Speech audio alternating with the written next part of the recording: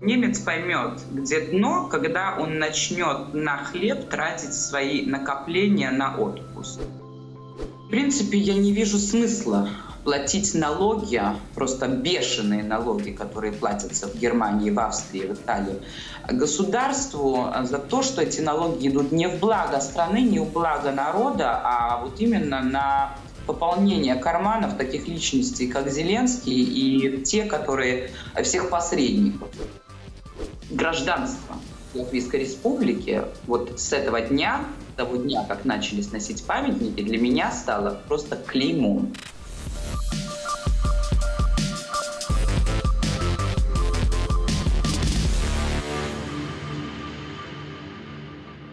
София, здравствуйте. Здравствуйте. А вы гражданка Латвии? Да. А, и вы хотите убежище в Беларусь. Почему? Политической ситуации э, во всей Европе и первым делом в Латвии, а, скажем так, мое мнение, которое я до этого момента высказывала публично, стало уже практически уголовным делом. Поэтому я приехала в Беларусь а, просить о помощи и защите своей свободы. А что именно такого вот в ваших э, высказываниях э, Э, что вы стали опасаться уголовного преследования? Ну, с моей точки зрения, ничего такого особенного нет. Всего лишь э, мнение э, среднестатистического человека о несправедливости, которая в данный момент происходит. Но так как э, очень активно меняются законы по всей Европе, так как сегодня свободы слова больше не существует.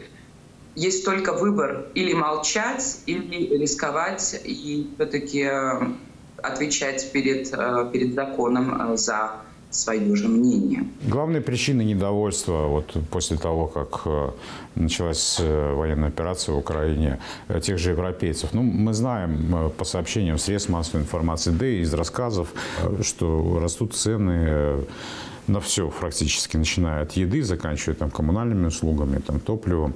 Э, только ли в этом э, причина недовольства людей или в чем-то еще? Ну, естественно, основная масса обращает внимание на то, что жить э, так, как раньше, уже невозможно, и какой-то зарплаты, которой хватило на обычное существование, теперь хватит просто на выжить. Но э, так же само всегда существовало э, мнение э, то есть так же самое в Германии я прожила 10 лет, а, общество, что им навязывают. Навязывают э, продажные СМИ, которые не показывают правду, которые э, вещают то, что им говорят вещать, э, скажем так, американская сторона. И это недовольство, оно появилось даже не сейчас, в 2022 году. Так же само очень сильно началось это, все, об этом, обо всем начали люди говорить уже в 2014 году, когда начался конфликт на Украине, потому что, естественно, русская диаспора не может оставить этот вопрос э, просто так, и мы объясняли и показывали, то есть и вторую сторону монеты, и те же немцы, те же австрийцы, итальянцы, естественно, хотят знать правду, и цензура а, которая началась уже в то время, естественно, вызвала э, большой а, такой вот шквал негодования. Плюсом должна добавить о том, что эта цензура, она оплачивается теми же налогоплательщиками, которые обязаны, просто обязаны платить взносы вот этим телеканалам, которые вещают неправду. И людям это далеко не нравится. Было очень много судебных процессов, а, всего-всего, но, к сожалению, народ э, бессилен. То есть власти не дают возможность как-либо высказывать свое мнение или вот, вещать правду. Поэтому сказать, что довольны, нет. Многие знают, многие в курсе, но обязаны молчать на сегодняшний день. Ну а как воспринимаются сообщения, регулярные сообщения из Европы о том, что Европейский Союз продолжит финансовую и военную помощь, ну или там все вместе той же Украине, несмотря на то, что вот даже последний инцидент падения украинской ракеты на территории Польши, гибель двух человек, о чем как-то вот стараются так умолчать, ну или не досказать, а человеческая трагедия случилась на ровном месте фактически. А, но могла бы случиться и гораздо больше, если бы э, план сработал и, скажем так, страны НАТО отреагировали по-другому и ввязались в конфликт э, открыто. Хотя они и так опосредованно участвуют в конфликте. Но... Естественно, народ это знает. И народ в ужасе, понимая, что с каждым днем, а, с которым продолжается этот конфликт на Украине, с каждым днем, а, когда НАТО а, тратит те же деньги, налоги этих же людей, жизнь их будет ухудшаться. И люди это понимают. Идут протесты, которые пытались э, подавить также законом, но опять же не получилось, так как вот недавно, 1 октября, эти же протесты должны были а, то есть опять было изменение закона, которое легализовало бы, скажем так, полицейский беспредел, который должен был подавлять этих протестантов, а, якобы поддерживающих Россию, хотя эти э, люди, которые выходят на протесты, они протестуют против того, что их жизнь ухудшается в этой ситуации. Они, может быть, даже и не хотят иметь ничего общего с СВО и Российской Федерацией, но они видят, что это все идет им явно не на пользу. А властям, к сожалению, а, настолько наплевать, что были э, открыто сказано, как вот фрау Бербок э, сказала, ей все равно, на своих избирателей, что скажут ее избиратели, они будут продолжать э, поддерживать Украину. То есть, ну, уже идет такая открытая э, война против же своего народа. Когда господин Нехаммер, канцлер Австрии, в телевидении сказал о том, что я не, сейчас, кстати, не придумываю, я сама это видела, мы очень активно это обсуждали с теми же австрийцами, фразу о том, что если Россия не, не будет давать Австрии газ, то единственная возможность греться зимой у австрийца это будет или алкоголь, или психотропные вещества. То есть, может, меня я, я осталась без слов, когда я это услышала, потому что это приз, э, произнес канцлер страны, открыто на телевидении. Ровно эта цитата. Можно найти и посмотреть. А, ну, понимаете, абсурд, абсурд. Ну а что происходит, на ваш взгляд, вот причины такого поведения? Э, ведь, ну, так или иначе, э, судьба этих политиков зависит э, все-таки от настроения людей, потому как электоральные кампании, что в Германии, что в Австрии, в той же, они ведь не за горами. Они настолько в себе уверены, что, в общем-то, выборы, что уже ни на что не влияют, получается? Вы знаете, дело в том, что э, я наблюдала ситуацию очень долго и могу э, сказать о том, что сейчас э, больше не существует понятия как свободные выборы. Ведь канцлер Германии, канцлер Австрии были поставлены не народом. Народ, я знаю, что когда поставили не Хаммера, австрийцы были в. Они сказали, о боже, но только не он. А, потому что их никто и не избирал. Их, э, то есть кто-то их привел туда, посадил, и э, чтобы каждый понимал, это выглядело так. С сегодняшнего дня я тут а, работаю. Вот и все. И мнение людей, выбора их и не было. То есть как в Германии, так и в Австрии. В Италии до сих пор еще существует понятие выборов, где, естественно, вот э, недавно происходили выборы, вы выбрали все-таки э, правых, но, вы знаете, недолго, э, недолго продлилась радость итальянцев, ведь правые обещали одно, но взяв штурвал, очень-очень быстро переобулись. В течение недели а, они продолжили ту же тематику, которая была уже заведена предыдущим, а, предыдущим правительством, то есть антироссийскую, антинародную. И я вижу очевидное. А, кто бы туда бы ни шел, кто бы туда ни садился, решает это не народ э, этих стран, решают даже не политики. Такое чувство, что у них э, один хозяин, который где-то за горами, а, и который отдает приказы, очевидно, которые приказы э, не не имеют никакого позитивного воздействия на ситуацию, как политическую, так и экономическую в этих странах. Ну и тогда уж, э, по вашему мнению, как может ли измениться эта ситуация и что для этого должно произойти? Вы знаете, с принятием закона о э, уголовной ответственности, то есть тюремным сроком э, в 10 лет за поддержку Российской э, Федерации, у меня э, больше нет э, оптимизма верить в то, что что-то может измениться в какую-то там позитивную сторону, потому что все, все что происходит в данный момент, указывает э, на просто целенаправленное уничтожение полностью всего. И первым же делом — свободы. Поведение прибалтийских государств, оно всегда ну, отличалась, скажем так, от, э, от, даже от поведения больших стран Европы. Ну, в чем отличалась? Ну, на мой взгляд, они всегда старались бежать впереди паровоза. То есть, ну, так, таким образом, наверное, показывают свою важность и нужность э, в какой-то придуманной ими же борьбе с, э, с той же Россией, с Белоруссией. Вот недавно, например, мы были свидетелями того, как э, со стороны Латвии разрушили мост э, на белорусско-латвийской границе. Нам не очень понятно такое поведение, честно говоря. Ну, мы его давно уже не понимаем. Но вместе с тем это целенаправленно такая политика ведется. Коль мы уж говорим о Германии и об Австрии, ну, таких, в общем-то, странах старой Европы и законодателях эм, европейской политики во многом, Э, насколько она сегодня суверенна, суверенна, это уже второй вопрос. Вот в прибалтийских странах это вообще какой-то приобретает какие-то гипертрофированные формы. Почему, на ваш взгляд, так происходит именно там? У меня есть просто свое мнение по поводу этого. Тут э, играет роль два фактора.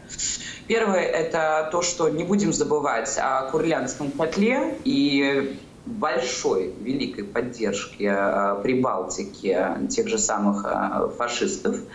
А, во времена Второй мировой войны.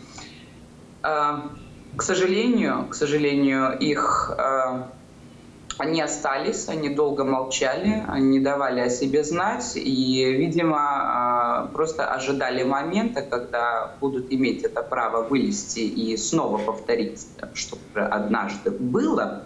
Это раз.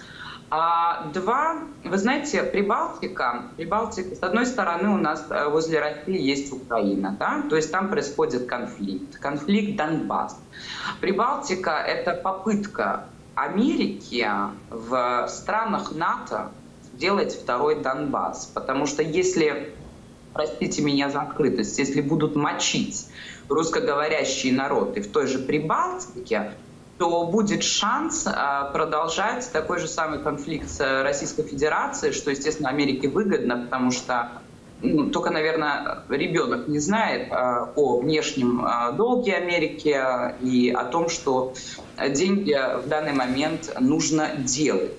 Как их делать? Ну, как всегда, через какой-нибудь конфликт где-то там, лишь бы только не у себя дома. А Прибалтика находится с одной стороны, Украина находится с другой. Мы видели одну очень очевидную попытку устроить то же самое и в Беларуси два года тому назад, да, вот это подкармли... подкармливание э, оппозиции э, страшнейшими фейками. Я просто слышу очень часто вот а, от э, ребят, которые мне пытаются доказать, то есть другую правду их кормили ложью, и они действительно свято в это верят, но для чего? Для того, чтобы, опять же, подойти немножко ближе, для того, чтобы уничтожить э, Россию. Нам, нам, нам всем, мне кажется, это понятно. Но Европа, европейцы сами по себе этого не хотят, потому что они понимают, что живя в ладу с Россией, мы можем, э, мы можем быть действительно все э, великими странами и жить э, в огромной стабильности. Но это такая вот политическая игра американцев, которая продолжается уже не первый десяток лет. Наделала много шума, наверняка вы тоже э, это видели и слышали заявление Джозефа Барреля, где он так образно сравнил Европу и весь остальной мир, и когда он сказал, что вот здесь у нас вот э, сад, а там все это джунгли. А, так вот, у меня вопрос. Такой, таков ли уж э, прям сад сейчас в Европе? И где на самом деле джунгли, вот э, по вашему мнению?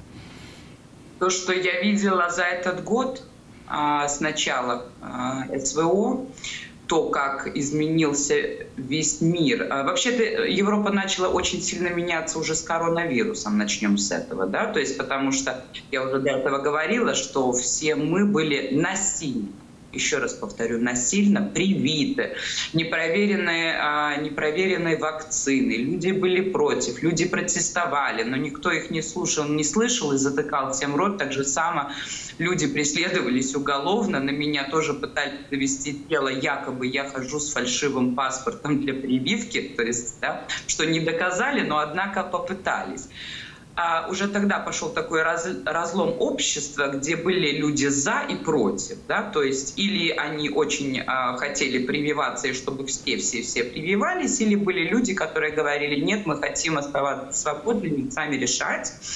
А потом с началом СВО, естественно, начался вот этот э, страшнейший экономический кризис, инфляция, э, который привел Европу в данный момент в такое состояние, что мне, как человеку, привыкшему к демократии, к свободе, да и, в принципе, к комфортной жизни, мне там стало очень некомфортно, потому что я вижу, что с каждым днем, буквально с каждым днем, становится все еще хуже и хуже. И говорить о джунглях, а, ну не знаю, где джунгли я приехала в Беларусь, и мне кажется, что я покинула джунгли. Что здесь э, вас э, больше всего впечатлило, если хотите? Ну, вот на контрасте, вот вы вчера еще были там, э, и, и сейчас здесь, в Беларуси. Что, что удивило, может быть?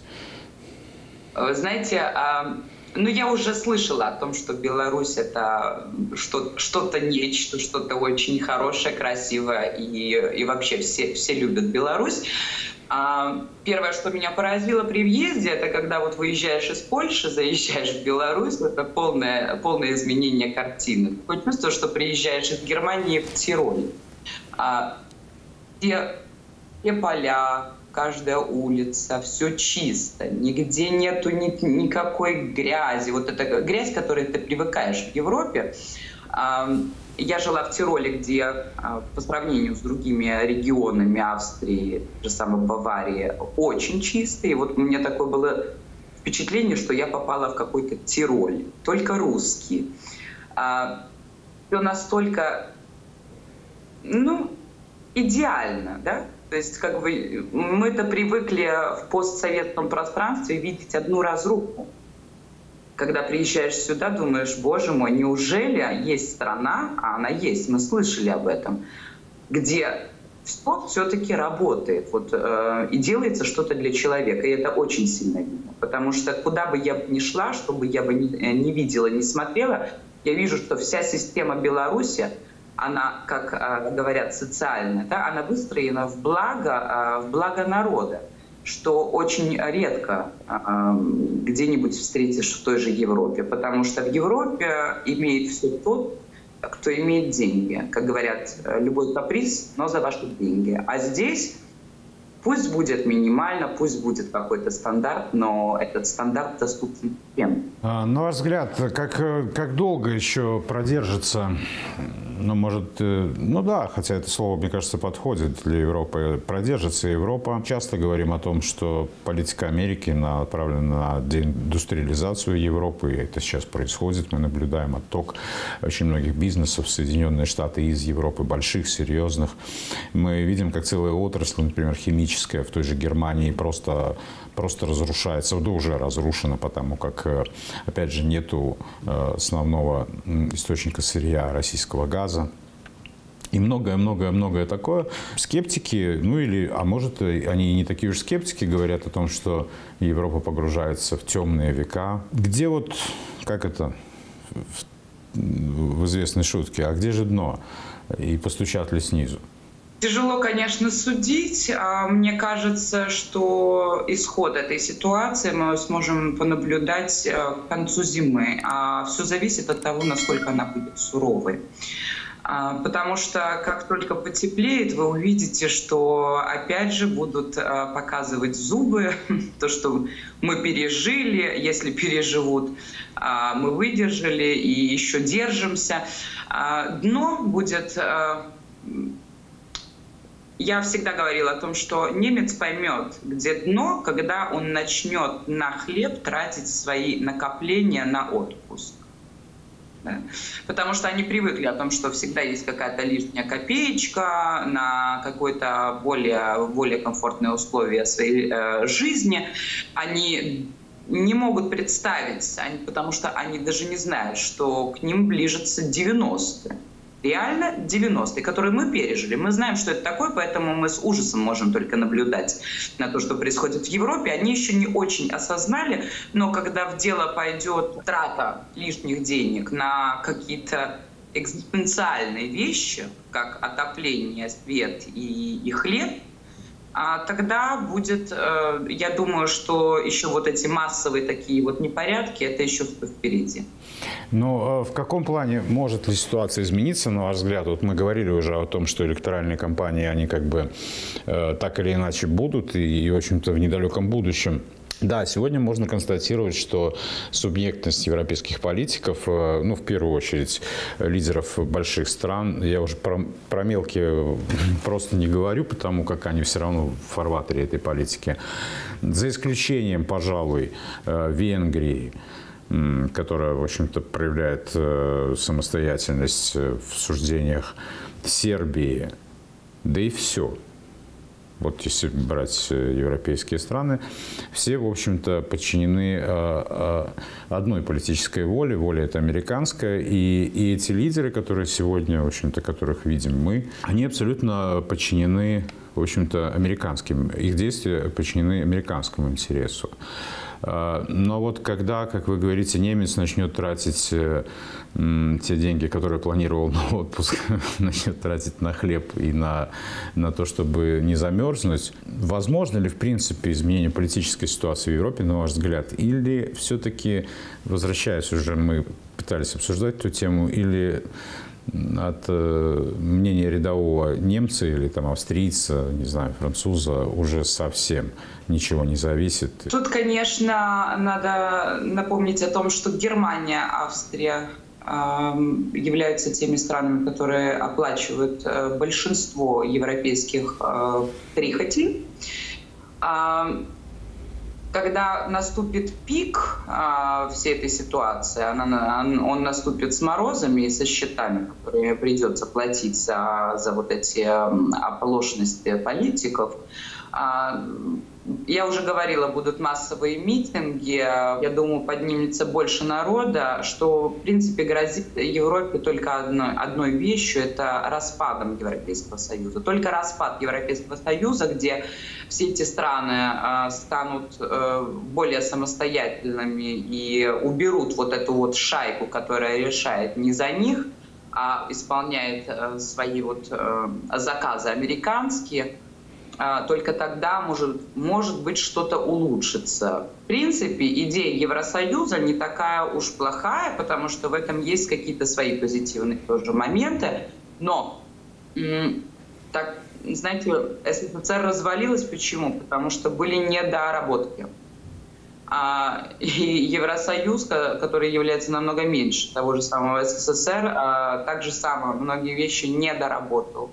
И если он развалится, то, возможно, ситуация для этих стран еще может вернуться как-то, изменить в лучшую сторону. Пока этого не произойдет, я, к сожалению, позитивно, оптимистично не могу смотреть в будущее. Наплыв э, украинских э, беженцев в Европе. Э, многие пишут и говорят об этом, хотя, опять же, вот по последним данным, в Россию, например, из Украины уехало гораздо больше людей, чем во всю Европу, хотя ну, мы понимаем, что да, для европейцев это, ну, наверное, серьезная проблема. А в плане каком? Ну, тут много аспектов, конечно, у, у этой проблемы. Ну, во-первых, этим людям как минимум нужно предоставить э, э, кров, тепло и какую-то еду. Э, но мы знаем больше, что им же еще и платили, и, наверное, где-то еще и платят просто деньги, просто потому что они есть. Более того, там масса льгот, как то бесплатный проезд где-то, который потихонечку начинают уже отменять. И вообще, вот, ну, по вашим наблюдениям, э, вот, э, вот эта вот волна, если хотите, э, украинских беженцев, как к ней отнеслись люди? Я знаю, что, например, очень многие абсолютно искренне ну, пытались и старались помочь ну, понимая, что люди лишились там крова, да, люди лишились многого всего у себя на родине, искренне старались помочь, но потом начались недовольства, и с чем вот они связаны в большей степени, на ваш взгляд? Ну, смотрите, мы русская диаспора понимали хорошо, что те, кто за, за свой дом, за справедливость, все равно поедут в Россию, да? То есть в Россию или в Беларусь, э, куда угодно, лишь бы дабы э, их бы не тронули. А все остальные, которые являются открытыми разжигателями ненависти, э, фашистами, я их называю, бандеровцы, да, а они все мотнули в Европу. Мы предупреждали немцев, мы предупреждали австрийцев, что в Европу приедут далеко не те беженцы, которые бегут от войны.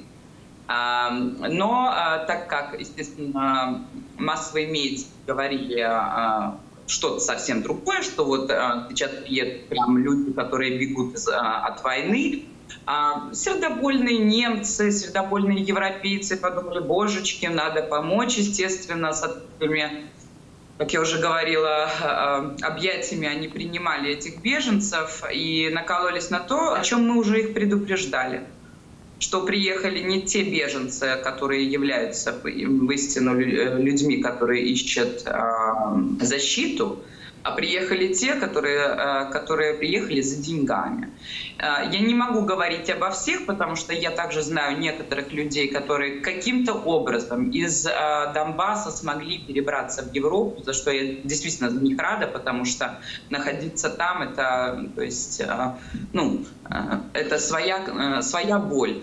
Но основная масса даже не стеснялась. То есть плевать в глаза тем же немцам, а плевать в глаза любому налогоплательщику. Эти истории просто переполняли тогда ТикТок, что люди говорили, о боже, я думал, а сейчас будет какая-то благодарность, что люди там хотя бы поднапрягут за, за помощь, а получили просто вот это похабное отношение, потому что те, кто бежал в Европу, не собирались изучать ни языка там немецкого или какого, какого-либо. Они приехали переждать, взять денег и поехать обратно. Многие из них так и делали. Они приезжали, получали пособие и, естественно, недовольствовались, а, что от них что-то требуют, потому что почему-то, наверное, кто-то им рассказал, что в Европе все дается за бесплатно. За бесплатно там только в мышеловке. А все, что дается, так же само, и э, за это все нужно расплачиваться, не без этого. А, то есть, э, когда немцы видели лицо а, бандеровцев, которые приехали в Европу, вот эти митинги, которые уже надоели просто, а, ну, ну просто всем, да, насколько вот отвратительно смотреть, особенно когда ты берешь сирийских, сирийских мигрантов и, и равняешь, то есть то, что они получили, как они себя ведут. И вот украинских, естественно, многих удивило, и удивило не позитивно, и отношение к ним а, также очень сильно поменялось, потому что, ну, если поначалу, ой, Украина надо помочь, что сейчас при слове «Украина» уже у всех просто пере, э, переворачивается лицо, потому что все понимают, что приехали, э, извините, нахлебники, э, которые, э, которые ничего делать не хотят. Это правда. А это является правдой. Они ходят на курсы, потому что это платят государство, потому что они обязаны ходить на эти курсы, они жалуются, что им а, не хочется ничего делать. А, то есть, э, понятное дело, что уже ну, такими устоями, с, с такими принципами как бы не нужно ожидать, что потом тебе будут продолжать так же самое все и со всех сторон. Поэтому и отменяют уже много. Да, видите, и потоки, опять же, оружия, финансов тоже не прекращаются, наоборот, увеличиваются при этом в Украине. Ну, мне кажется, все понимают, а, действительно большинство в Европе понимает, куда эти деньги идут, куда.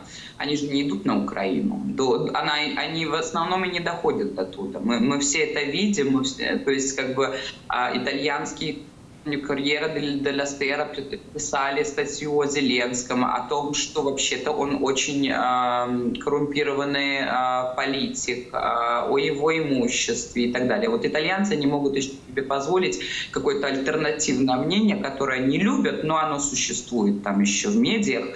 Э, ну, немцы молчали, но люди же знают, есть интернет и можно почитать. Все понимали, что человек, у которого зарплата в 7 сколько, 7 тысяч долларов а, в месяц а, президент Украины не может э, на эту зарплату стать мультимиллионером за такие короткие сроки, за которые, э, то есть сколько он уже, скажем так, работает.